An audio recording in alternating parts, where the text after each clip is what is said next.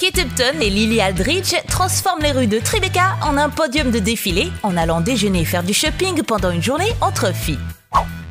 Les amis mannequins sont habillés pour le temps chaud de New York en se baladant en ville.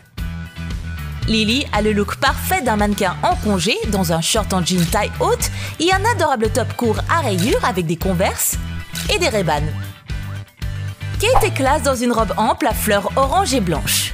Le mannequin de Sport Illustrated est devenue actrice, met la touche finale à son look avec des sandales blanches et un sac à main assorti.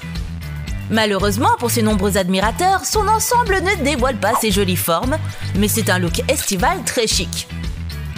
Y a-t-il quoi que ce soit qu'elle ne puisse pas porter?